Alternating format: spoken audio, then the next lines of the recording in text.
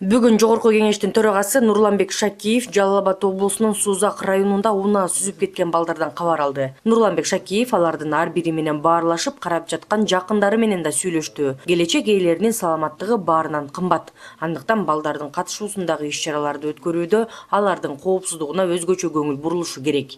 Көңүл кош жасалган мамиленин кесепети оор болорун сузактагы окуя анык көрсөттү деди төрага андан тышкары жабыркаган ар бир бала дарыгерлердин тыкыр көзөмөлүндө болуп баардык тиешелүү медициналык жардамдар берилиши керектигин айткан. Нурланбек шакиев жасалып жаткан иштер боюнча оорукананын башкы дарыгери акылбек мамановдон маалымат алды. Ошондой эле балдардын тез арада сакайып кетишин тилеген нурланбек шакиев төраганын резервдик фондунан да каржылык жардам көрсөтүлөөрүн билдирди